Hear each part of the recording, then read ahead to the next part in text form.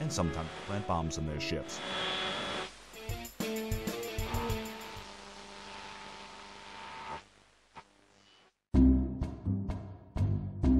You wanted a well armed cargo ship with modular compartments full of surprises for your customers and room for a few friends. We gave you the Caterpillar. You said no. We want something faster and more maneuverable with lots of guns so we can catch our customers, haul their cargo, and have room left over for a few friends. We gave you the Cutlass. And you said no. Not fast enough.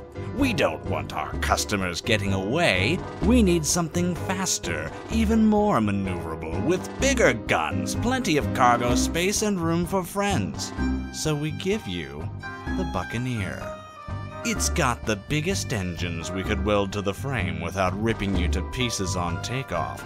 Rocket propelled explosives to discourage your customers' friends from joining negotiations. Two size 1 hardpoints perfect for a pair of disruptors capable of disabling your customers prior to boarding. Two size 3 hardpoints so you can mount big guns for extra punch, or gimbaled size 2 in case your customer is a slippery target. And one belly mounted size 4 capable of firing ahead or behind because you can never have too much firepower when taking down customers. And sometimes they sneak up on you.